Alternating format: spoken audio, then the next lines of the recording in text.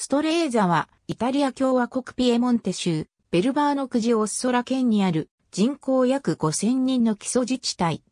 イタリアアルプス山脈の南にあり、美しいマジョーレ湖に面していて、この落ち着いた町は、保養、観光地として名高い。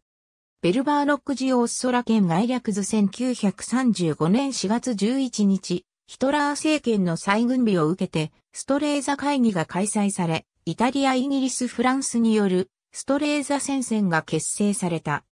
美しいマッジョーレ湖に面したこの町はコモ湖にも近く、またイタリアアルプス山脈のモンテローザやシンプロン峠などにも比較的近く、保養、観光地として名高い。ストレーザには以下の分離集落がある。